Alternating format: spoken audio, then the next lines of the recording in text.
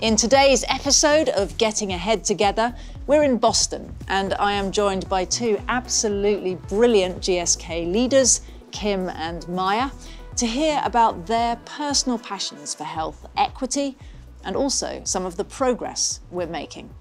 So, Kim, tell us what really motivates you personally to drive for equal health outcomes? Well, you know, Emma, from from birth, I was always one who wanted to fight inequality. And, you know, I, I consider myself a troublemaker. My mother would probably back that up. But I like to be a troublemaker for good, meaning that I'm always challenging inequality in any place that I see it.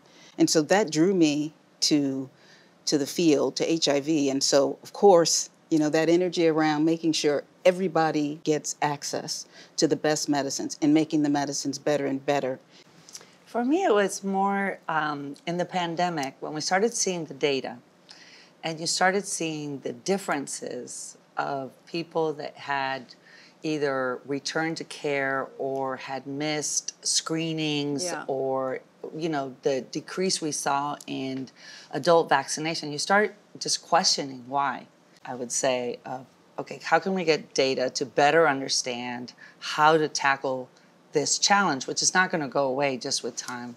For sure, and it's always so inspiring to see it fueling you on. And, and so, Kim, you know, the science tells us very clearly that different diseases and medicines can affect different people differently.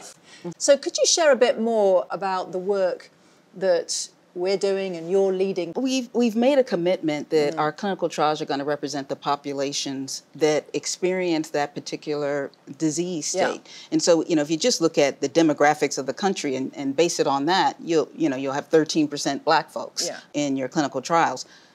In HIV, roughly 50% of the new cases of HIV are among blacks. And we've partnered with folks to get this done correctly. We did the phase three PrEP trials in partnership with the HIV Prevention Trials Unit. They had the racial breakdown that matched the disease state. And so for the US enrollees in one of those trials, we made a commitment that 50% were going to be black men who have sex with men. Yeah. We met that bar. Historically, PrEP trials have had, you know, single digits of mm-hmm. black men who, who have sex with men included.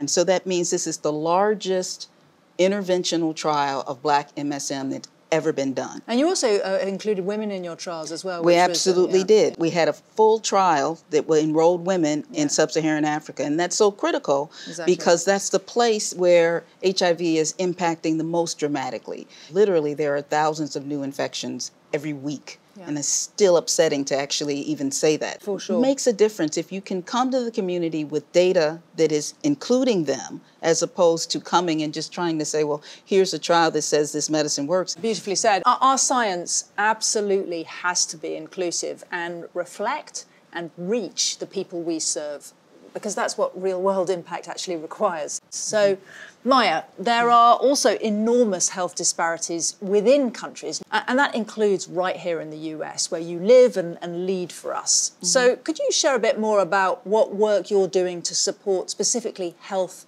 equity here in America? A lot of the work that we've done is geographically understanding yeah. where are the disparities because the US from a geographical standpoint mm. is very different from state to state. Yeah. But it was really with the pandemic when we started getting some of the data mm-hmm. specifically on vaccines, why were the numbers going down significantly in specific areas and in minorities. So yeah. once we got that data, we started really trying to get more information, and that allows you to do more specific programs for those populations.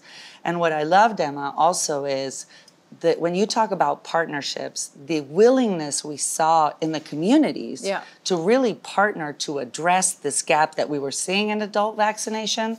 We worked with Univision, which is one of the largest channels that reaches 72% of Hispanic population in the United States to really create the awareness of the importance of getting vaccinated. And you know what I was really happy to see is an increase in vaccinations in the Hispanic population. That makes you want to do more. Yeah. Um, because you're seeing that you're having an impact in something that's so important. Very, very much so. And you know, there's clearly a lot more for all of us to do, and we won't rest until No. we get to true equity. But these are really clear examples from both of you of the power of starting with the patient first, really listening. And, and this work in vaccines uptake is so important, frankly, when prevention of disease or earlier intervention in disease, earlier diagnosis so we can treat people and keep them stable, no matter where they live in the world, be that for an individual, a family, or in fact, a health system capacity perspective as well. We've got to have diverse experience to drive scientific discovery, to understand the needs of diverse people and patients so that we can deliver innovative solutions for the biggest healthcare challenges for everybody. This is exactly what getting ahead of disease together really looks like. Thank you. Thank you.